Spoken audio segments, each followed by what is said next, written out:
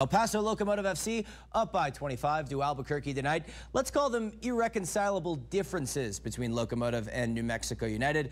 No están de acuerdo. The last regular season meeting between the two clubs tonight. El Paso had lost once coming in. Could their border rivals make it dose? First half, Amando Moreno.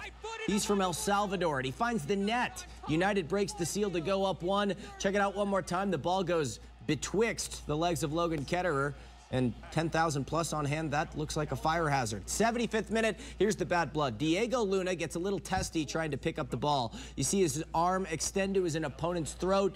Luna, I mean, he's 17 years old. He probably gets a detention back in school, but he's a professional soccer player, so he gets a red card. He'd have to leave the contest. So El Paso down a man, down a goal on the road. Things looking grim, but in the 97th minute, off a corner kick, netting.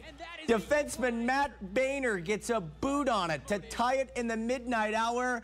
Uh, what else do you expect? Tarp's off. I'd be disappointed if the tarp was on from Bahner as El Paso ties it in the 97th minute. Literally a last second goal, and they snatch a point from the depths of this one. 1 1 the final score, an epic chapter in the saga between El Paso and New Mexico.